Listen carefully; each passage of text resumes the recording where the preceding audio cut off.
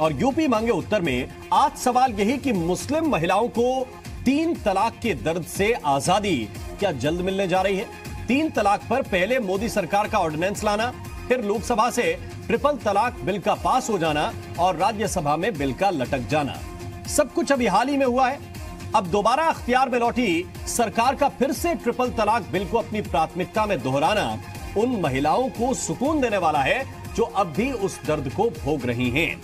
हालाँकि, हैरानी की बात यह है कि इस बुराई के खिलाफ इतनी चर्चा और इतने विवाद के बाद भी मुस्लिम महिलाओं को उनके रिश्ते में बराबरी का हक देना तो दूर की बात। आज भी मोबाइल पर ही तीन तलाक चल रहे हैं।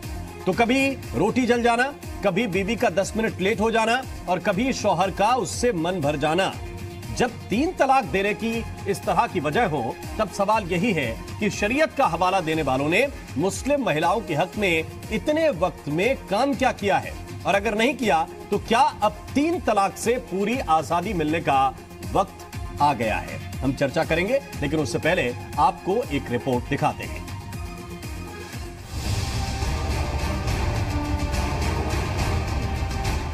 मोदी सरकार ने सत्ता में वापसी के साथ ही ट्रिपल तलाक पर कानून बनाने के लिए कमर कस ली है। सियासत की ज़मीन पर भी बीजेपी को मुस्लिम महिलाओं के हक की बात उठाना फ़ायदे का सौदा दिख रहा है। प्रचंड बहुमत से सत्ता में लौटी बीजेपी ने इस बार मुस्लिम इलाकों में भी शानदार प्रदर्शन किया। माना यही जा रहा है कि मुस्लिमों के एक वर्ग में बीजेपी के प्रति लगाव बढ़ा है। इसलिए कानून मंत्री रविशंकर प्रसाद ने कुर्सी संभालते ही संसद में ट्रिपल तलाक पर बिल फिर से पेश किए जाने की बात कही।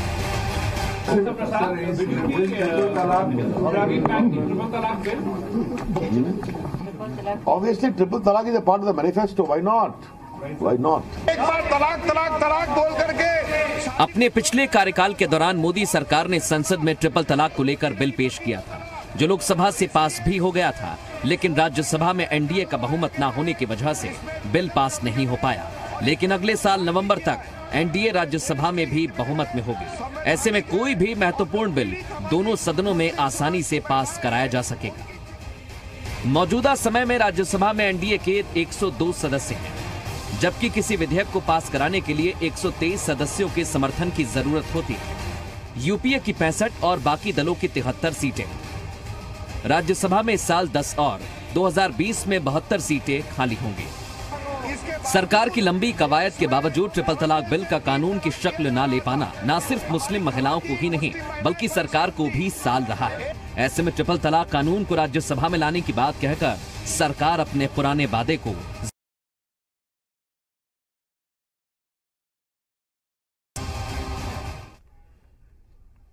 तो जैसे ही कानून मंत्री की कुर्सी संभाली, उनसे कई तरह के सवाल पूछे गए। रविशंकर प्रसाद उन सवालों का जवाब दे रहे थे। उनसे जब पूछा गया कि ट्रिपल तलाक बिल का क्या तो उन्होंने कहा कि हमारे मैनिफेस्टो में हम इससे पीछे कैसे हट सकते हैं? ये ज़रूर संसद में लेकर आएँगे, एक बार फिर से इसे पास कराने की कोशिश करेंगे। हम इसी को लेकर चर्चा करेंगे। हमारे साथ खास मेहमानों का एक बहुत अहम पैनल इस वक्त जुड़ रहा है। अभिनव त्रिवेदी जी हैं, अधिवक्ता हैं, हमारे साथ इस वक्त जुड़ रहे हैं। हीरो वाजपेयी जी हैं, प्रवक्ता हैं बीजेपी के, हमारे साथ इस वक्त जुड़ रहे हैं। नाहिद अकील जी हैं, सामाजिक कार्यकर्ता हैं। नंदिनी प्रियदर्शनी हैं, सामाजिक कार्यकर्ता हैं, हाजी हसन अहमद साहब हैं, मुस्लिम स्कॉलर हैं और अरविंद यादव, प्रवक्ता हैं पीएसपीएल के। बहुत बहुत स्वागत आप सभी का जी उत्तर प्रदेश, उत्तराखंड पर। सबसे पहले सवाल हीरो वाजपेयी जी आपसे। अब दोबारा सत्ता आपको मिली है।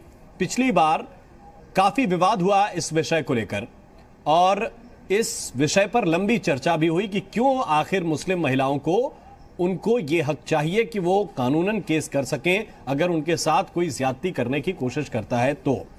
अब रविशंकर प्रसाद जी कह रहे हैं कि हमारे मैनिफेस्टो में है।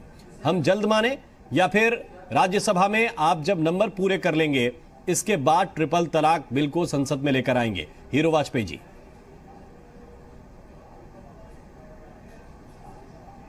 देखिए, दो बातें इस बारे में एकदम साफ़ होनी चाहिए कि जब सरकारें बनती हैं तो जन, जो वर्ग, जनता का, किसी न किसी कष्टों को सह रहा होता है, सरकार का काम है सेवा कार्य करना, और उसके तहत कोई जो दिक्कतें आ रही उस समाज के सामने, उस वर्ग के सामने, उन दिक्कतों को दूर करना। और दूर करने के लिए यदि कानून बनाना पड़े तो कानून बनाना।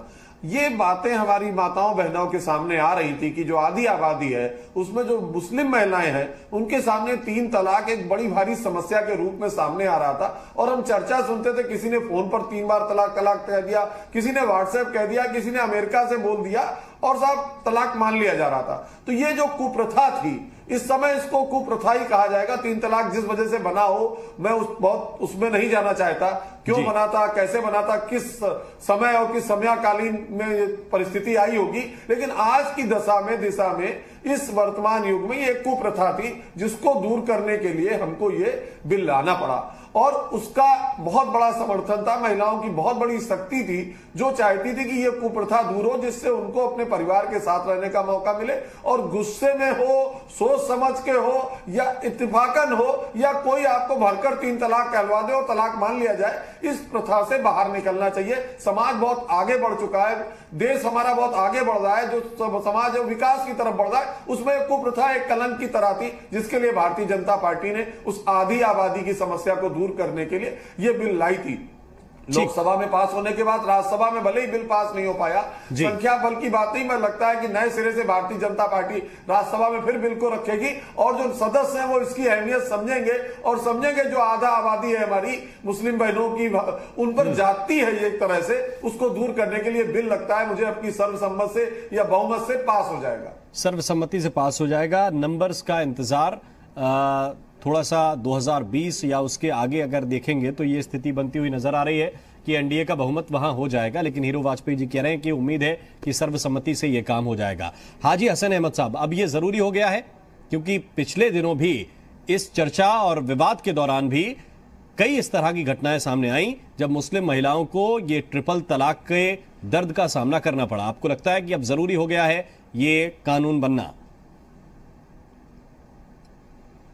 जी बिल्कुल बेहद ज़रूरी है ये कानून क्योंकि ये एक कुप्रथा ही कहा जाए इसको तो ज़्यादा बेहतर होगा।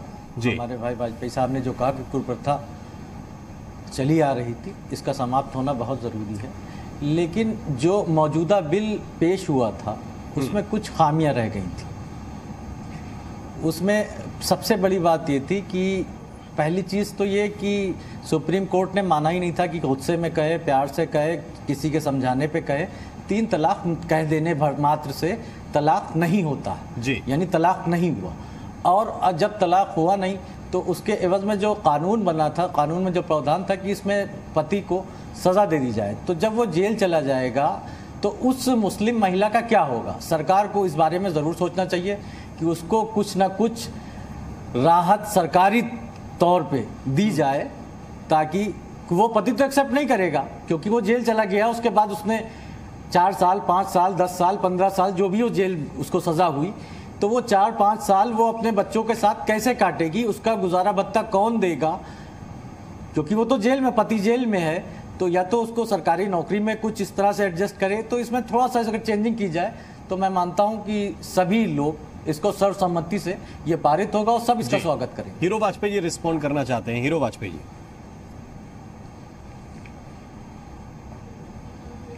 देखिए हिंदुओं में भी एक कुप्रथा थी दहेज की या आपने दूसरा विवाह कर लिया उसमें भी प्रोविज़न है आईपीसी में। वकील अभिनवनाथ त्रिपाठी बताएँगे लेकिन उसमें भी प्रोविज़न था जेल जाने का। देखिए ये एक भय की दीवार है जो कानून के पालन के लिए आईपीसी में खड़ी करनी पड़ती है। यदि आप इन कानूनों का पालन नहीं करेंगे अगर आप किसी को सताएँगे तो इन कानूनों के तहत आपको दो साल तीन साल सात साल की सजा होगी। सजा का प्रोविज़न मेरे ख्याल से केवल इसलिए किया गया है कि जिससे कि आदमी को ये भय रहे और परिवार टूटने से बचाने के लिए वो भय का पालन करे। हसन अहमद साहब फिर रिस्पॉन्ड करना चाहते हैं। लेकिन मैं आपकी बात कहूँगा कि इस इस इस बात की सजा पति को मिलनी चाहिए ना कि कनेक्शन चला गया। जी जी बोलिए। कनेक्शन कनेक्शन गया। बोलिए अहमद साहब सुन रहे हैं आपको? कनेक्शन चला गया ठीक है हम वापस लौटेंगे शायद आवाज़ नहीं पहुँच पा रही है उन तक। आ, वापस लौटेंगे और फिर उनसे हम जवाब लेंगे कि वो क्या इसके साथ तर्क देना चाहते हैं। लेकिन अरविंद यादव जी, आपको लग रहा है कि ये अब ज़रूरी है? और जिस तरह से पिछली बार राज्यसभा में ये बिल लटक गया, पास नहीं हो पाया, क्योंकि संख्या बल एनडीए के पास नहीं था उस वक्त, ये अब इस मौजूदा सरकार में दूसरी पार्टियाँ भी इस बात को समझेंगी।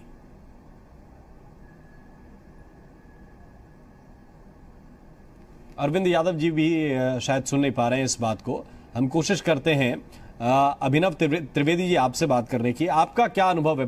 पीछे हमने जब देखा इसी साल में आप इसी मई के महीने को निकाल लीजिए तो इसमें दो या तीन घटनाएँ इस तरह की आई हैं। जब ट्रिपल तलाक का सामना करना पड़ा ऐसी महिलाओं को इस दर्द को उन्हें झेलना पड़ा। पीछे भी घटनाएँ लगातार ज़ाहिर बात है कि आ रही हैं। इतनी चर्चा और विवाद के बाद भी अ, महिलाओं को उनकी अ, उनका हक देना तो दूर की बात आपको लग रहा है कि महिलाओं के, के प्रति मुस्लिम समाज में या शरीयत कानून में कुछ अ, बदलाव हुए हैं कुछ सुधार हुआ है कि कम से कम अब बिल आने वाला है उससे पहले खुद ही कुछ सुधार कर लें अपने समाज में। ऐसा दिख रहा है आपको?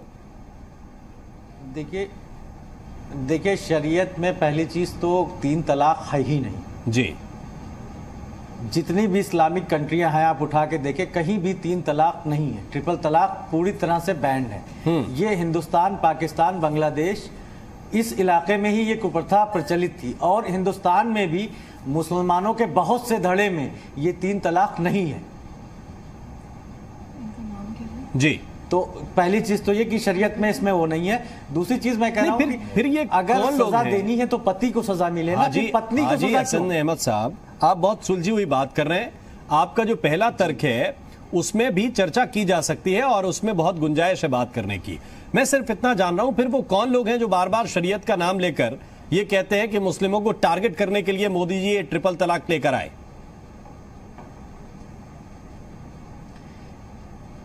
देखिए इस इसमें कहने के लिए इसलिए कि इसमें सजा का जो प्रावधान रखा गया वो बहुत सख्त रखा गया। जी। तलाक पे जबरन तलाक पे या पत्नी को बिना तलाक दिए छोड़ देने पे सेम सजा होनी चाहिए सबके लिए होनी चाहिए। एक वर्ग विशेष को टारगेट करने पे इस तरह की ये थी लेकिन इसमें इसमें चेंजेस की मांग जो मुसलमानों की तरफ़ से उमन उठी है वो इतनी ही है कि पति जेल चला गया मसलन छः महीने के जी। लिए छह महीने के लिए चला गया हम कम कर दे रहे। तो अब वो छह महीने का पीरियड वो पत्नी कैसे गुजारेगी? किस पे आश्रित होगी? आपके आप जो ये पॉइंट रख रहे तो हैं पत्नी भी पत्नी आप, भी आप जो ये पॉइंट रख रहे हैं इस पे देश की संसद को विचार करना चाहिए। इस पॉइंट पे सोचना चाहिए एक बार कि उस महिला के प्रति क्या कुछ गुंजाइश की जा सकती है क्या कुछ उसको और प्रदान किया जा सकता है सरकार की तरफ़ से क्या राहत दी जा सकती है इस पर एक मंथन हो सकता है। मेरा सवाल यह है कि देश में तो ये माहौल बना दिया गया ट्रिपल तलाक बिल जब आया कि साहब आप शरीयत पे हमला कर रहे हैं इस्लाम पे हमला कर रहे हैं आप धर्म में छेड़छाड़ कर रहे हैं ये जायज़ है क्या?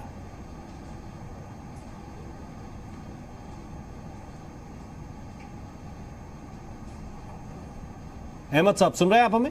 देखिए इसमें ना शरीयत पे हमला है ना हम्म। इस्लाम पे हमला है और बिल्कुल ना मुसलमानों पे हमला है ना उनके अधिकार पे हमला है। क्यों तीन तलाक जब जो जो इस्लामिक कंट्रीज़ जितने भी फिरके हैं किसी ना किसी कहीं ना कहीं से किसी को फॉलोअर करते। हैं। सऊदी अरब नहीं मानता ईरान नहीं मानता इराक नहीं मानता तो कोई यानी कि गल्फ के सारी कंट्रीज़ में ट्रिपल तलाक बैन है। नंदिनी प्रियदर्शनी जी। तो जब तिल, तिल, और ये हिंदुस्तान में भी जब अलग अलग मुल्कों में ट्रिपल तलाक जी जी बोलिए। जी बिल देखिए ट्रिपल तलाक का जो इशू है वो एक सीरियस कंसर्न रेज करता है जेंडर जस्टिस जेंडर इक्वालिटी और ह्यूमन uh, राइट्स को लेके। तो मुझे लगता है हमें धर्म से ऊपर उठ के अ, एक अलग नज़रिए से देखना चाहिए और अ, इसको एक जेंडर इक्वालिटी का इशू समझ के उस तरह से इसके अंदर रिफॉर्म्स लाने चाहिए। मुझे लगता है वो कोई भी महिला हो वो एक मुस्लिम महिला हो या फिर वो हिंदू महिला हो उसे पुरुष के इम्पल से गवर्न नहीं होना चाहिए।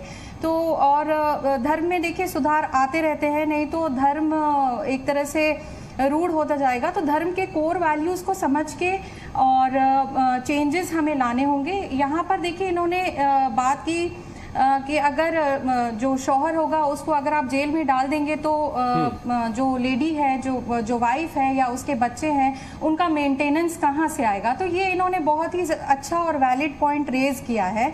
इनफैक्ट जो डिवोर्स लॉज होते हैं उनमें आई डोंट थिंक सो कि पीनल प्रोविजंस हैं या फिर क्रिमिनलाइजेशन का एक एस्पेक्ट है ऐसा नहीं है। तो कहीं ना कहीं अगर आप ये मुद्दा उठा रहे हैं इस पर बहुत ज़्यादा डेलिब्रेशन होना चाहिए इस पर और ज़्यादा बातचीत होनी चाहिए इस पर डिबेट होना चाहिए और एक एमिकेबल सोल्यूशन हो। ये सरकार को इसके बारे में सोचना चाहिए। Rather देन कि आप अ, ये एक सीरियस और ग्रेव कंसर्न तो है ही लेकिन आप किस तरह से इसमें से एमिकेबली आप एक सोल्यूशन निकाल के आएँगे ये बहुत ज़्यादा ज़रूरी है। ठीक है। नाहिद अकील जी जैसा कि हाजी हसन अहमद साहब बता रहे हैं कि बहुत सारी इस्लामिक कंट्रीज़ ऐसी हैं। मैं आ रहा हूँ अभिनव जी आपके पास भी। बहुत सारी इस्लामिक कंट्रीज़ ऐसी हैं जहाँ पे ट्रिपल तलाक प्रतिबंधित है। ये नहीं हो सकता। फिर हिंदुस्तान में क्यों भारत में एक वर्ग इस रूप में खड़ा हो गया जब ये ट्रिपल तलाक बिल आया? कि मुस्लिम महिलाओं की आवाज़ के लिए या उनके हक के लिए ये बिल नहीं है? ये शरीयत और इस्लाम पर, धर्म पर हमले सरीखा है। आपको क्या लगता है?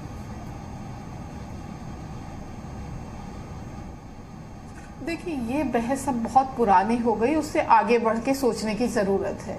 अब बात इस पे करनी चाहिए कि जब राज्यसभा में बिल पिछली बार पेश नहीं हो पाया था, अब नई सरकार बनी है तो सरकार राज्यसभा में पेश करने से पहले एक सर्वदलीय बैठक बुलाए और जो जो कमियाँ, जैसे अभी बताया है मुस्लिम स्कॉलर भाई ने हमारे उस तरह की जो भी कमियाँ हैं उसको बैठ के बातचीत करके रेक्टिफाई करके आगे की तरफ़ बढ़ना चाहिए।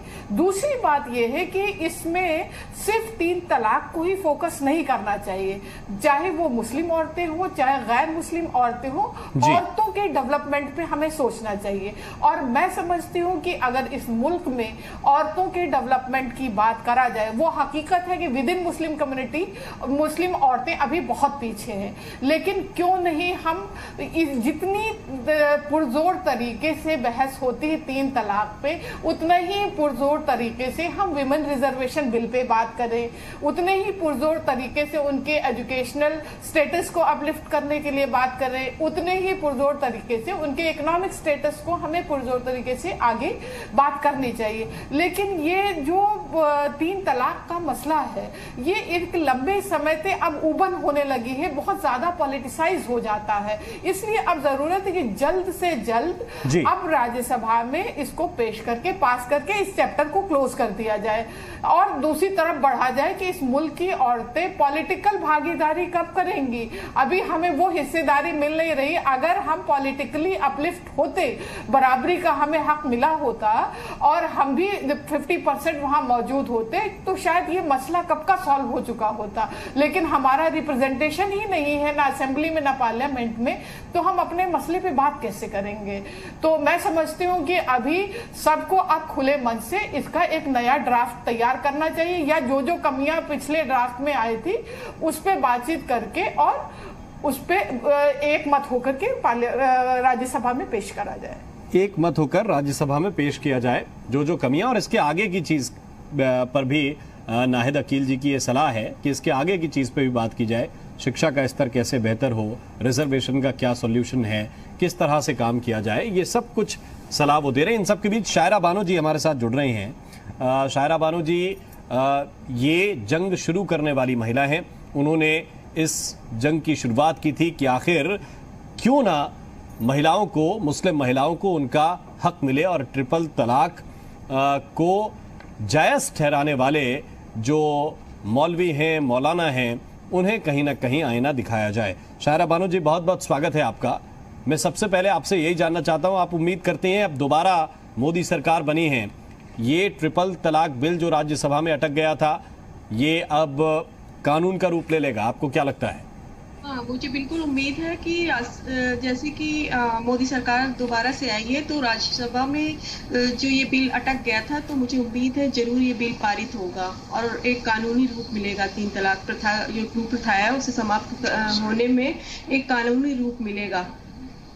बिल्कुल, क्योंकि रविशंकर प्रसाद आज कह रहे थे कानून मंत्री कि हम इस पर अडिग हैं और हम ये बिल लेकर ही आने वाले हैं। जिस तरह से मुस्लिम महिलाओं को तकलीफ़ से गुजरना पड़ रहा है, शायरा बानो जी, पिछले दिनों भी हमने देखा, किसी शौहर ने इस वजह से ट्रिपल तलाक दे दिया क्योंकि उसकी बीवी दस मिनट लेट पहुँची। किसी ने कुवैत में होकर अपनी पत्नी को वहीं से ट्रिपल तलाक के मैसेज भेज दिए। अभी भी वो घटनाएँ घट रही हैं, इस इतनी चर्चा के बाद। यानी कि अभी जब तक कानून नहीं बनेगा, ये रुकेगा नहीं। मजबूती होना बहुत ही ज्या- ज़्यादा ज़रूरी है। और राज्यसभा में ये बिल पारित होना बहुत ही ज़रूरी है। जी। लोगों सामने आना चाहिए। कुछ कुछ सुधार की भी लोग मांग कर रहे हैं कि ड्राफ्ट में ये सुधार भी हो कि महिलाओं महिलाओं को अगर उनके शौहर को जेल भेज दिया जाएगा तो वो महिलाओं को किस तरह से उतना वक्त कैसे गुजारेंगी ये भी मांग उठ रही है। उसके उसके दिशा में भी सोचना चाहिए। अगर पुरुष को मुस्लिम पुरुष को जेल भेज दिया जाएगा तो अगर ये बिल पारित हो जाएगा और कानूनी अपराध घोषित हो जाएगा तीन तलाक तो उस मर्द को तो ये पता होगा कि ये कानूनी अपराध है। तो उस मर्द को ये सोचना चाहिए कि मतलब मैं ऐसी अपराध ना करूँ तो उसको भी सोचना चाहिए ना तो इसमें कमी आएगी। अगर ये बिल पारित हो जाएगा तो ये कमी ज़रूर आएगी तीन तलाक देने में। और वो व्यक्ति सोचेगा तीन तलाक देते वक्त और अपराध करते वक्त सोचेगा कि मैं ऐसा अपराध ना करूँ ताकि मेरे जेल जाने की नौबत ना आए। ये आपको लग रहा है। अभी अभी क्या खेल जैसा लगता है कि ट्रिपल तलाक दे दिया कहीं से बैठकर किसी को भी? ये जब कानून बन जाएगा तो कम से कम जहाँ ज़्यादा गुंजाइश होगी कि अब साथ नहीं रह सकते हैं कोई दिक्कत इस तरह की हो गई तब जाकर अ, तलाक की नौबत आएगी और वो भी कानूनी रूप से लिया जाएगा। हाँ बिल्कुल सही बात है। अगर किसी को मतलब प्रॉब्लम है परेशानी है अपनी पर्सनल लाइफ में तो कानूनी रूप दिया जाएगा और मतलब दोनों की गलतियाँ समझ में आएँगी कि किसकी क्या गलती है। ऐसे तो पहले तो तीन तलाक दे दिया जाता था और किसी को ये नहीं पता चलता था कि किसकी गलती है। जी। ठीक है। शायरा बानो जी बहुत बहुत धन्यवाद। हमारे साथ आप जुड़ी अपना पक्ष आपने रखा। हम कोशिश करेंगे कि आपसे आगे भी इस विषय पर चर्चा करते रहें। हमारे साथ खास मेहमान लगातार बने हुए हैं, उनसे भी हम लगातार चर्चा कर रहे हैं। एक छोटा सा ब्रेक ले रहे हैं, तुरंत हाजिर होते हैं। ब्रेक के बाद स्वागत है आपका लगातार। चर्चा इसी बात को लेकर कर रहे हैं कि तीन तलाक से पूरी आज़ादी मिलने का ये मोदी सरकार का जो टर्म आ गया है, यही ठीक वक्त है। अब मिल जानी चाहिए ये आज़ादी। यही सवाल हम पूछ रहे हैं। तमाम मेहमान हमारे साथ हैं। अभिनव नाथ त्रिपाठी जी के तरफ़ हम चल रहे हैं। अ, वकील हैं वो समझते हैं हर चीज़ को। अभिनव जी दो बातें निकल कर आई। एक तो आप अपनी बात भी रखिएगा आप भी रखना चाह रहे थे। और दूसरी बात कि संशोधन भी कुछ होने चाहिए। संशोधन में उस अ, महिला जो पीड़ित है तीन तलाक की उसके पति को अगर जेल हो जाती है तो उसको भी मिलना चाहिए। आपको लगता है कि अभी अगर केस में किसी में तलाक गैर कानूनी तरीके से कोई हिंदू महिला को मिल जाए तो ऐसी कोई व्यवस्था है क्या? जबकि उसमें भी जेल का प्रावधान है कि आप गलत तरीके से अगर तलाक देंगे, कानूनी तरीका अख्तियार नहीं करेंगे तो आपको उसका नुकसान उठाना पड़ेगा खामियाजा इस चीज़ को जरा आप समझाइए हमें। पहले तो मैं भारतीय जनता पार्टी के इस सकारात्मक प्रयास के लिए उसको बधाई देना चाहूँगा। जहाँ तक रही हाजी साहब ने बीच में कहा कि अगर कोई पति जेल चला जाता है किसी महिला की शिकायत पे और उसके बाद छः महीने साल भर दो साल की अगर जेल हो जाती है तो परिवार का क्या होगा? यह एक दृष्टिकोण हो सकता है लेकिन कानून हमेशा सख्त बनना चाहिए क्योंकि जब तक कानून की कोई दहशत नहीं होगी तब तक यह इस तरह की जो कुरीतियाँ हैं समाज में जो गंदगी है यह सही नहीं हो सकती सुधर नहीं सकती। कानून तो हमेशा सख्त बनना चाहिए। बात ये बात अलग है कि हर चीज़ के दो पहलू होते हैं। एक अच्छा आपको सही दिखता है और एक गलत दिखता है। हाजी साहब को गलत पहलू दिख, ज़रूर दिखाई दे रहा है कि छः महीने आखिर महिला का क्या होगा। लेकिन यह भी सोचने वाला विषय है कि अगर पुरुष छोड़ देगा महिला को तब महिला का क्या होगा? और तब तो महिला कहीं की नहीं रहती। क्योंकि यह पुरुष प्रधान देश है हमारा। कहीं ना कहीं अगर एक पुरुष तलाक लेता है तो उसकी दूसरी शादी हो जाती है। लेकिन अगर महिला तलाक लेती है तो उसकी दूसरी शादी होने में बहुत सारी दिक्कतें आती हैं। बहुत तरह की दिक्कतें आती हैं उसको कहीं ना कहीं समाज में बुरी निगाह से देखा जाता है। इस वजह से इस कानून तो सख्त बनना चाहिए। सका, सरकार ने बहुत सकारात्मक प्रयास किया है। इस प्रयास में ये हो सकता ज़रूर है कि कोई थोड़ा बहुत परिवर्तन अगर सरकार को लगता है कुछ चीज़ें लोग ऊपर लोग बैठे हुए हैं वो देख लें। लेकिन बाकी कानून तो सख्त ही बनना चाहिए। कानून सख्ती को समाप्त किया जा सकता है। ठीक कानून सख्त बनना चाहिए। अरविंद यादव जी आपको लगता है मैं आ रहा हूँ। अहमद साहब आपके पास आ रहा हूँ। अरविंद, कानून सख्त बनना चाहिए। अरविंद यादव जी, आपको लगता है, मैं आ रहा हूँ। अहमद साहब आपके पास आ रहा हूँ। अरविंद यादव जी, आपको क्या लगता है कि सरकार के इस विजन में आप लोगों को भी अब समर्थन करना चाहिए, या फिर अभी भी आपत्ति है? नहीं नहीं नहीं। देखिए राम मोहन जी, प्रगतिशील समाजवादी पार्टी और उसके नेता आदरणीय श्री शिवपाल सिंह यादव जी। महिलाओं को न्याय दिलाने के लिए जितना संघर्ष किया है, मुझे नहीं लगता कि कोई उतना संघर्ष किया होगा।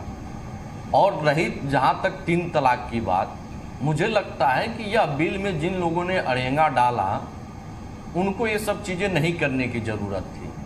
तीन तलाक एक ऐसा मसला है कि इससे महिलाओं को न्याय मिले तो इस पर तो किसी को अड़ेंगा डालने की बात ही नहीं आती। नाहिद अकील जी की मैं सुन रहा था। प्रियदर्शनी प्रियदर्शनी जी भी कह रही थी, नंदिनी प्रियदर्शनी जी। मुझे लगता है कि यह रियल है कि महिलाओं को तीन तलाक और मुसलमानों में ही नहीं, सभी धर्मों के लिए नियम बनना चाहिए। और दूसरी जहाँ तक बात है कि इनको हर जगह, जिस तरीके से नाहिद अकील जी ने कहा है कि राजनीति के क्षेत्र में रोज़गार के क्षेत्र में, शिक्षा के क्षेत्र में इनको भी अभिव्यक्ति की आज़ादी मिलनी चाहिए। न कि घरों में कैद किए रहे पुरुष। अच्छी बात कह रहे हैं अधिवक्ता जी, पुरुष प्रधान देश है, लेकिन मैं मानता हूँ कि पुरुष प्रधान देश है, लेकिन आज के डेट में जिस तरीके से महिलाओं ने एक एक पराक्रम किया है, और महिलाओं ने आगे आकर के दिखाया है जिस तरीके से, मुझे लगता है कि महिलाओं को अभिव्यक्ति की आज़ादी मिले तो पुरुष से ज़्यादा बेहतर कर सकते हैं। ठीक। अभिव्यक्ति की आज़ादी तो अभी भी है, लेकिन अधिकारों की बात है कि अधिकार आपने कितने दिए हैं। अकील जी, नाहिद अकील जी जो बात कह रही थी, वो कह रही थी कि अब महिला रिजर्वेशन की बात होनी चाहिए, और अधिकार कितने दे रहे हैं प्रगतिशील समाजवादी पार्टी या दूसरी पार्टियाँ, ये भी अपने आप में सवाल है, और वो सब लोग स्वीकार करेंगे कि बहुत कम प्रतिनिधित्व तुलनात्मक आप देखेंगे तो महिलाओं का है। नहीं लेकिन हमारे यहाँ देखिए हमारे यहाँ अधिकार दिया गया है। जी। हम लोगों ने चुनाव लड़ाया उसमें भी जगह दिया ज़्यादा से ज़्यादा। जितने पदाधिकारी बनाए गए उसमें भी हमने दिया। और महिलाओं के साथ जहाँ भी अन्याय हुआ जी। चाहे सुल्तानपुर हो भदोही हो ठीक है। रावर्ट्सगंज हो सब जगह हम लोगों ने प्रत्याशी बना बना करके और न्याय देने का काम किया है। ठीक है। अब अहमद साहब, एक एक तो आप कुछ कहना चाह रहे थे और दूसरी बात ये भी मैं इसमें जोड़ना चाहता हूँ कि कि हर कानून को बनाते समय प्राथमिकता ये होती है कि दोषी को सज़ा मिले और इसके बाद फिर विक्टिम का क्या होगा, उसके बाद में सोचा जाता है वो सेकेंडरी है। तो पहले ही आप इस पर आपत्ति लगा लगा रहे हैं कि दोषी को सज़ा हो, उसके पहले आप विक्टिम की चिंता कर रहे हैं। क्योंकि वो विक्टिम तो अभी के साल में है, इसकी चिंता नहीं रही समाज को। इसीलिए ये कानून लाना पड़ रहा है। देखिए, पहली चीज़ तो मैंने कहा कि ये इस्लामिक नज़रिए से ये तीन तलाक है ही नहीं। सुप्रीम कोर्ट ने इस और संवैधानिक तरीके से सुप्रीम कोर्ट ने ये कह दिया कि तीन तलाक कह देने मात्र से तीन तलाक नहीं होता। हाँ जी तो इस्लामिक शरीयत के हिसाब से भी नहीं है आप जो शरीयत की बात कर रहे हैं आप आप आपके मुस्लिम समाज ने या मुझे ये बताइए All India Muslim Personal Law Board जो आप लोगों का एक बड़ा संगठन है उसने कितने ऐसे पुरुषों को समाज से खारिज किया? या इस्लाम ने कितने लोगों को खारिज किया कि साहब, क्योंकि फतवे तो हर बात पे आ जाते हैं, छोटी छोटी बात पे। कि आपने अपनी पत्नी को ये तीन तलाक कहा, ये तो इस्लामिक नहीं है, ये शरीयत के हिसाब से नहीं है। तो आप, आपको समाज के हिसाब से आपने कितने कदम उठाए, ये भी तो लोग जानना चाहेंगे। या फिर क्योंकि ये सब चलता आ रहा है, ये इसलिए चलता रहेगा। पहली चीज़ तो ये कि ये कुप्रथा जो है मैं फिर दोहरा रहा हूँ कुप्रथा। ये कुप्रथा मुसलमानों के एक धड़े में है। पूरे मुस्लिम समाज में नहीं है। ये प्रॉब्लम पूरे मुस्लिम समाज की नहीं है। ठीक है। मुसलमानों के एक तबके में एक जाति विशेष में ये प्रथा है। दूसरी चीज़ कि हमने इस बिल का विरोध नहीं किया हमने तो स्वागत सायरा बानो जी कुछ कह रहे हैं। अगर आवाज़ अगर आए तो कुछ प्रावधान हो। एक सेकंड सायरा बानो जी कुछ तो बहुत सी प्रॉब्लम्स आई लोगों ने धमकी दी और और ये कोई आ, आसान आ, फाइट नहीं थी और जैसे कि अभी भी अड़चन लग, लगाई जा रही है पॉलिटिकल्स और धार्मिक मुद्दे सामने आ रहे हैं। राज्यसभा में जैसे कि बिल पारित नहीं होने दिया गया और दोबारा से मोदी सरकार आई है तो उम्मीद बती है कि राज्यसभा में बिल पारित ज़रूर होगा और मुस्लिम महिलाओं को ज़रूर न्याय मिलेगा। सारा बानो जी, आप बता रहे दिक्कतें आई। तो ये कौन लोग थे जो दिक्कतें पैदा करते थे जब आप ये मुद्दा लेकर गई? जब मैंने मतलब अपना याचिका सुप्रीम कोर्ट में डाला था तो पर्सनल लॉ बोर्ड ने मतलब कहा था कि केस वापस ले लीजिए, और बहुत सी मौलवी, मौलाना ने धमकियाँ दी थी। और ऐसा लग रहा था कि कुछ भी नहीं होगा, जो ये स्टार्टिंग और शुरुआत हुई है, और अभी भी जो अड़चने और कांग्रेस पार्टी और जो पॉलिटिकल्स पार्टी और धार्मिक मौलवी, मौलानों की जो अड़चने आई हैं तो ऐसा लग रहा था कि कुछ भी नहीं होगा लेकिन मोदी सरकार की वापसी से ऐसा महसूस हो रहा है कि राज्यसभा में भी बिल पारित होगा और इसे तीन तलाक को एक कानूनी ठीक है। मिलेगी। ठीक है। अब हसन अहमद साहब आप बात सुन रहे होंगे सायरा बानो की। वो ये ये बता रही हैं कि दिक्कतें आई और दिक्कतें डालने वाले कौन थे उनका भी वो ज़िक्र कर रही हैं। जी इन्हीं ने सबको कटहरे में खड़ा कर दिया सिर्फ़ एक पार्टी को छोड़ के। खैर ये इनका अपना विजन है। ये ये इनका अपना विजन है जिसको वो है। मैं स्वागत करता हूँ इस बिल का। बिल्कुल मैं कह रहा हूँ मैं मान रहा हूँ ये कुप्रथा है कुरीति है। और ये महिलाओं के अधिकार में हिंदुस्तान में ही नहीं हिंदुस्तान पाकिस्तान बांग्लादेश ये तीन कंट्री अभी भी इस कुरीति को ढो रहे हैं। ये बिल्कुल खत्म होनी चाहिए। इसको तो यूएनओ में ये बात उठानी चाहिए कि जब कहीं नहीं है तो ये इन तीन जगह पे क्यों है इसकी लड़ाई तो अभी आगे और होनी चाहिए। लेकिन हमारा कहना ये है कि आप बिल लेके आ रहे हैं नया काम कर रहे हैं। आप पूरे मुस्लिम समाज से आपने एक तरह से जैसे कि आपने अभी बताया कि पूरा मुस्लिम समाज कह रहा है कि ये उस पर शरीयत पे हमला है। कुरान शरीफ में कुरान करीम में एक सूरत निसा पूरा सूरा मौजूद है। उसमें तलाक का भी ज़िक्र है। इसमें पूरी तरह से है कि कहे कि आप कहीं नहीं सक होता ही नहीं।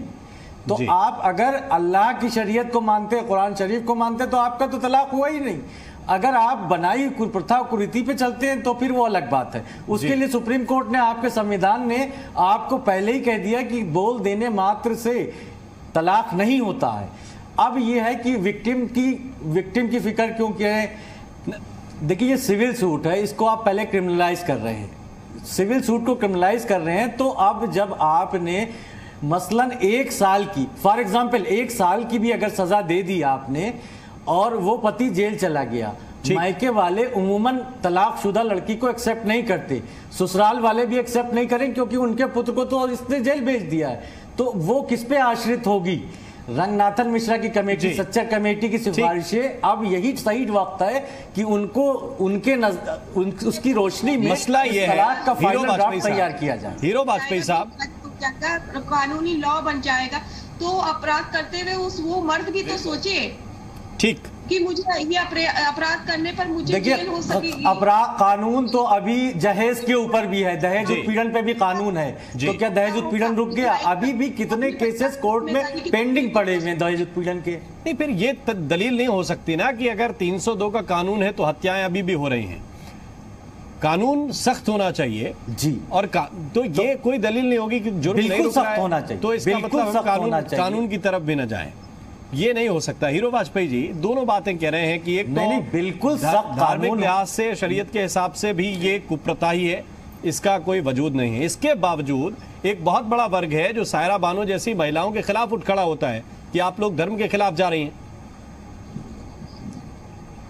नहीं हम हम सब लोग इनके साथ हैं जी। और इन पूरी तरह से इनके साथ हैं। वाजपेयी जी इसका जवाब दें। की लड़ाई है। और बहुत हिम्मत दिखाई है महिलाओं के अधिकार की लड़ाई है और महिला को इस देश में संविधान इजाज़त देता है कि देश की हर महिला महिला है वो जी। हिंदू है कि मुसलमान इसका कोई फ़र्क नहीं पड़ता सामाजिक मुद्दा और जहाँ तक अभी कानून की बात आ रही थी महिलाएँ पीड़ित हैं जी हीरो वाजपेयी बोलिए। पीड़ित है समाज पीड़ित है। देखिए, इस समाज देश आगे में बढ़ बहुत सी महिलाएँ इससे भी पीड़ित हैं है, उनके पति ये बिना- तीन तलाक प्रथा की वजह से। राम मोहन जी मैं कुछ कहना चाहूँगी ठीक हीरो वाजपेयी जी अपनी बात कंप्लीट कर ले फिर नंदिनी जी मैं आपके पास आता हूँ। हीरो वाजपेयी जी। जी। नहीं देख देखिए जो ये कुरीति है ये पूरे हिंदुस्तान की महिलाओं को संविधान ने एक जैसा अधिकार दे रखा है। ये तीन तलाक की कुरीति समाप्त होनी चाहिए इसको धर्म के चश्मे से नहीं देखना चाहिए। और जहाँ तक अभी जो हमारे मुस्लिम स्कॉलर भाई हैं वो तो बार बार सजा के प्रावधान पर चर्चा कर रहे हैं। मुझे लगता है कि इस देश में इस देश में एक कुरीति है। जी, जी। इस देश में एक कुरीति दहेज थी और दहेज पर एक एक्ट बना उसमें तीन बट्टे चार। तीन बटे चार डीपी एक्ट में सजा का प्रावधान है। महिलाओं के साथ घर में मारपीट होती थी दहेज के लिए। उसके लिए कानून बना चार सौ अट्ठानवे ए। उसमें गिरफ्तारी और जेल का प्रावधान है और उसमें जो जो भी दोषी है वो जेल जाएगा। अगर ये कहा जाए कि परिवार जेल चला जाएगा पति जेल चला जाएगा तो फिर ये होने दीजिए सजा का प्रावधान न करिए ऐसा नहीं हो सकता। सजा होने के बाद संबंध खराब होंगे ये अवश्यंभावी है। जो भी पति दहेज में जेल जाता है उसके संबंध खराब हो जाते हैं अपनी पत्नी से और जो परिवार जेल जाता है खराब हो जाता है। और इस कानून में भी यही प्रोविज़न है जो भी सजा मिलेगी। हाँ ये ज़रूर है विक्टिम का क्या होगा? तो ये तमाम कानून विक्टिम की बात में चर्चा नहीं करते जो दोषी है उसी को सजा देते हैं। ठीक है। अहमद साहब एक बात कह रहे हैं फिर नंदिनी जी भी कुछ बोलना चाह रहे हैं उनके पास। ठीक है आ- जी जी। आ, आप दोषी को बिल्कुल सजा दे सख्त से सख्त सजा दे दस साल की सजा दे लेकिन उस महिला के अधिकार कहाँ जाएँगे फिर? जिसकी आप दुहाई दो के कानून ला रहे हैं उसके अधिकार कहाँ जाएँगे? करते जा रहे हैं सजा नहीं हो रही ये तो है। साहब दहेज सायरा एक्ट में भी है। ये तो साहब मारपीट के उसमें भी है कि महिला के अधिकारों की वजह से तो जेल जा रहे हैं। वो ठीक है। नंदिनी प्रियदर्शनी जी।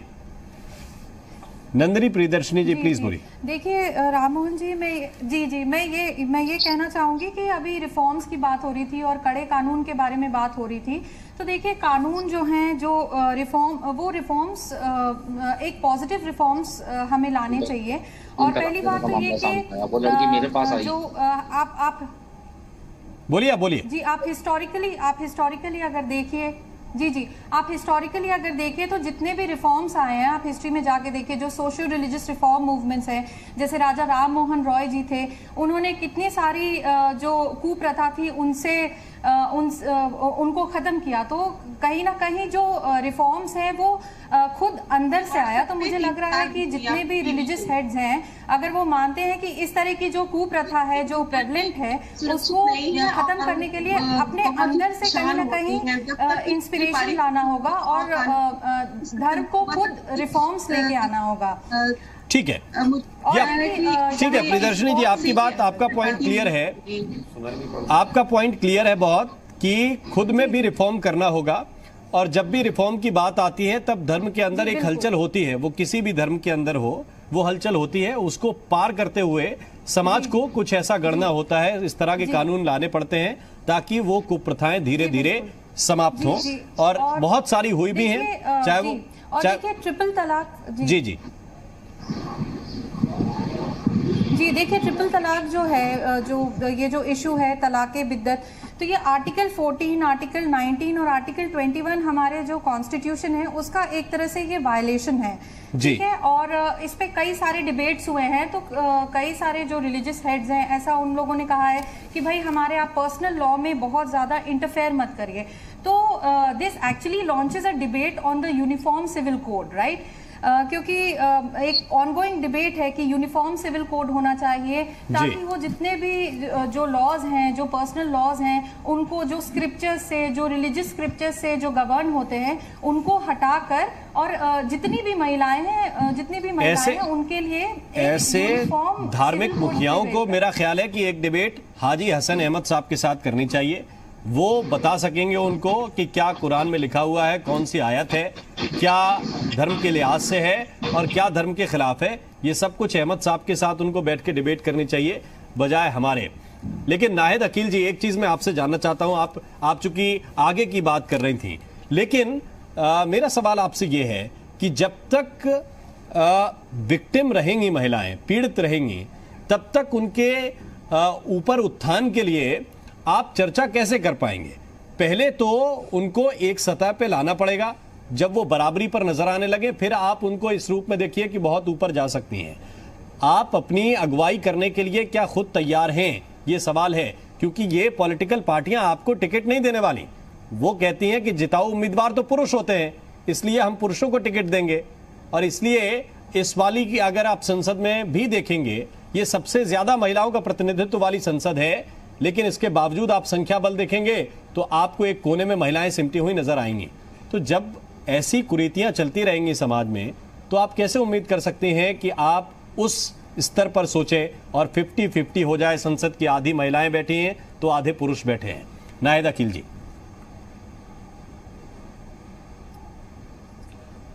देखिए, कुरीतियाँ एक अपनी जगह है। आपने पंचायती राज में देखा होगा रिजर्वेशन जब दिया गया और बिहार में तो 50 परसेंट रिजर्वेशन सबसे पहले दिया था। जी। तो वहाँ आपको बहुत सारे एग्ज़ाम्पल देखने को मिला होगा कि बिना पढ़ी लिखी औरतों ने भी एक अलग तरह का चमत्कार करके दिखाया।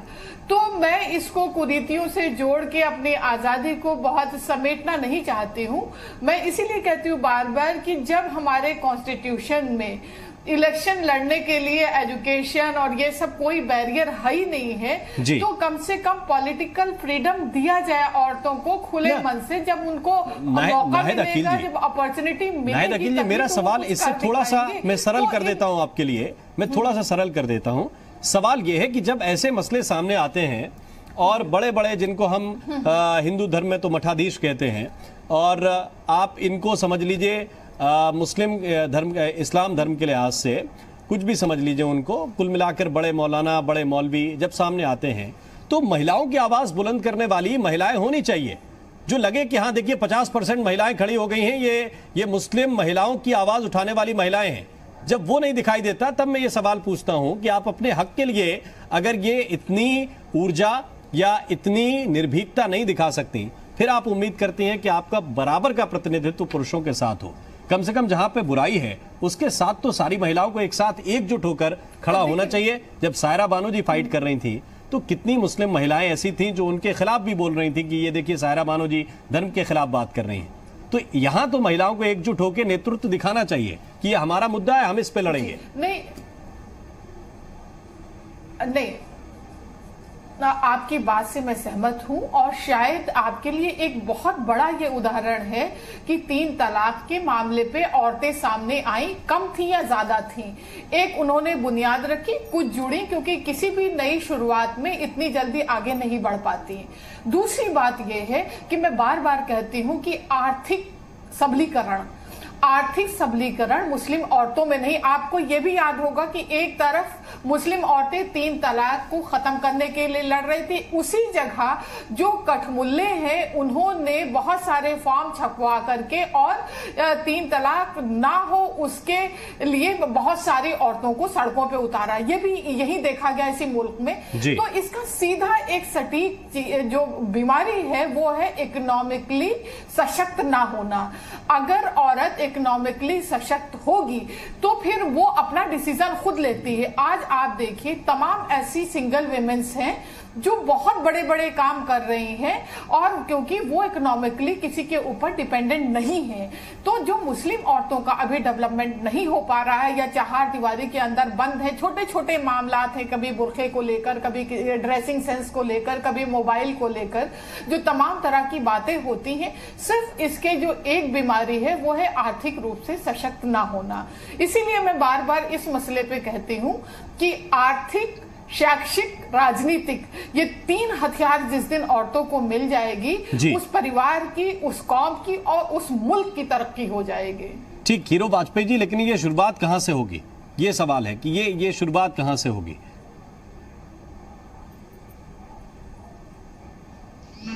वीरू वाजपेयी जी ही कम से कम औरतों को 50 परसेंट रिजर्वेशन दिलवा दीजिए तो फिर ये बहुत अच्छी नहीं हम तो चाहते हैं कि औरतें समाज में जैसे घर में बराबरी का दर्जा है और घर में बराबरी का दर्जा है वही समाज में भी बराबरी का दर्जा रहे। और राजनीति एक देखिए जुदा चीज़ है जैसे नौकरी एक जुदा चीज़ है कि भाई जो पढ़ेगा लिखेगा वो उसमें आगे आ जाएगा। और उसमें एक रिजर्वेशन है उस रिजर्वेशन का पालन हो जाएगा। उसी तरह से राजनीति राजनीतिक क्षेत्र में हर राजनीतिक पार्टी का अपना अलग अलग वो है। हम मानते हैं कि राजनीति में महिलाओं की भागीदारी होनी चाहिए और अच्छे से होनी चाहिए। पर जो आज का विषय है तीन तलाक का उसको मुझे लगता है कि लोग कई चीज़ों में डिफर कर रहे हैं। तीन तलाक एक ऐसी कुप्रथा है मुस्लिम महिलाओं के लिए जो बराबरी का अधिकार छीन रही है हिंदू महिलाओं से। हिंदू महिलाओं के पास अधिकार है हमारे पास एक पूरा कानून है जो उस कानून का पालन नहीं करता और जो उस कानून का उल्लंघन करता है। उसके लिए बाकायदा पूरा एक बना हुआ है कोड उसके अनुसार तलाक की व्यवस्था है उसके अनुसार गुजारा भत्ता की व्यवस्था है उसके अनुसार बच्चों को पालने की व्यवस्था है उसके अनुसार जेल जाने का प्रावधान भी है। और उसके अनुसार अपील की भी व्यवस्था है कि अगर आपको लगता है कि आपका कोर्ट से नहीं जायज़ फैसला हुआ है तो उसमें तीन तलाक के उसमें भी जो कानून बने कानून का पहले अनुपालन होने दिए कानून का फार्म आने दीजिए। उसमें लगता है पूरे मुस्लिम समाज को जुटना चाहिए। देश का हिंदू समाज ये मान चुका है। अकील जी एक बात कहना चाह रहे हैं। हमारे यहाँ हो वाजपेयी साहब। चाहे दूसरे के यहाँ। अकील जी, प्लीज़। को खत्म करने के लिए पूरे हिंदुस्तान को एक साथ आना चाहिए। अकील जी। बस मैं क्विकली ये जवाब दूँगी कि जो हीरो वाजपेयी जी का जवाब है उसका काउंटर जवाब ये है कि अगर मुस्लिम तलाक की बात किया जाए मुस्लिम महिलाओं की तो ज़ीरो पॉइंट कुछ थ्री या फोर परसेंट है जबकि हिंदू जो समाज है नहीं, उसमें नाहिद जी, मेरा सवाल ये नहीं है कि-। देखिए- नाहिद अकील जी। अब घरों में बंद महिलाएँ आप निकल नाहिद अकील जी इसको थोड़ा सा और ब्रॉड कीजिए। मेरा ख्याल है आप इसको परसेंटेज में देखने के बजाय ये देखिए कि जायज़ तरीके से कितना हो रहा है और नाजायज तरीके से कितना हो रहा है। अगर कानूनन रूप से पति पत्नी साथ नहीं रहना चाहते और कानूनन रूप से हटा रहे हैं वो एक दूसरे को अलग हो रहे हैं डिवोर्स ले रहे हैं तो ये तो तो ये तो फिर महिलाओं के अधिकार की बात है ये पुरुष के अधिकार की बात है। नहीं नहीं मेरा पर्पस नहीं नहीं ये इस पूरे मामले से ध्यान बटाने जैसी बातें हैं। मेरा पर- इनको किसी भी हालत में परसेंटेज पे नहीं, देखना मेरा जाति जाति है- कुप्रथा कुप्रथा है। एक मिनट मेरा काउंटर यही है कि कानून है उसके बावजूद भी बढ़ा है। तो ज़्यादा। से ज़्यादा अवेयरनेस पे हमारा फोकस होना चाहिए। कानून तो बहुत सारे अहमद साहब, कुछ कहना चाह रहे हैं। कानून बनने के लिए थोड़ा सा जल्दी सर, समय कम है। हाँ। जी, अहमद साहब। अगर एग्ज़ाम्पल ये दिया जाए तो दोनों मैं मैं नहीं कहना चाह रहा हूँ जैसे कि जी। हीरो वाजपेयी साहब ने कहा कि हमारे पास कानून है गुजारा भत्ता भी है सजा का भी प्रावधान है। इसी तरह का एक कानून इसमें भी ड्राफ्ट कीजिए कि इसमें गुजारा भत्ता भी हो वो भी हो। यही इसी बात की तो डिमांड कर रहे हैं। ठीक इसी बात की आप डिमांड इसी बात की डिमांड कर रहे हैं और कुछ नहीं मांग रहे हैं वाजपेयी जी। ठीक। सारा बानू ऐसा कानून लाइए जो सिमिलरिटी लाए जैसे कि सिविल कोड की बात है उसी तरह से सिमिलरिटी लाइए ये इतनी अभिनव नाथ त्रिपाठी जी कानून का कानून की चर्चा आई और त्रिपाठी जी बच्चों की चिंता करनी सवाल उठा रहे हैं। त्रिपाठी जी प्लीज़ बोलिए समय कम है। पहले हमें इस बात पर विचार करना चाहिए कानून सख्त बनना चाहिए क्योंकि यहाँ पे कानून बना के किसी को सजा देने की बात नहीं हो रही है। कानून सख्त इसलिए बनाया जाता है कि अभियुक्त को इस बात का भय हो कि वह अपराध करे ही ना। इस चीज़ के लिए कानून बनाया गया है। ये बात हमें समझनी पड़ेगी। मैं इस चीज़ से भ्रमित ना हुआ कानून में हम हमारा उद्देश्य कानून बनाने का उद्देश्य यह नहीं होता है कि किसी व्यक्ति को सजा मिल जाए। उसका उद्देश्य होता है कि उस कानून से भय प्राप्त व्याप्त हो और जिस भय भय व्याप्त हो। सायरा बानू जी एक आखिरी कमेंट मैं आपसे लेना चाहता हूँ। सायरा बानू जी। जी। हाँ इसको कानूनी रूप देना चाहिए और बिल पारित होना चाहिए और सख्त कानून बनना चाहिए ताकि ये जो तीन तलाक प्रथा है हमेशा से हिंदुस्तान से खत्म हो जाए समाप्त हो जाए। बहुत बहुत धन्यवाद बहुत बहुत शुक्रिया आप सभी मेहमानों का हमारे साथ इस चर्चा में जुड़ने के लिए। बहुत बहुत शुक्रिया। तो यूपी मांगे उत्तर में आज सवाल यही था कि तीन तलाक से पूरी आज़ादी कब मिलेगी? ये जितना विवाद का विषय पहले था अब उससे ज़्यादा अब इस पर चर्चा होने लगी है कि आखिर क्यों ना इसमें इस बात की भी चर्चा हो कि महिला को महिला का गुजारा कैसे होगा, उसका गुजारा भत्ता होगा कि नहीं होगा। पहले चर्चा इस बात की हुआ करती थी कि ये तो धर्म के खिलाफ है, शरीयत के खिलाफ है। कम से कम अब ये विवाद चर्चा का रूप तो कम से कम ले रहा है। ये बड़ी बात है। यूपी मांगे उत्तर में, अभी के लिए बस इतना ही। नमस्कार।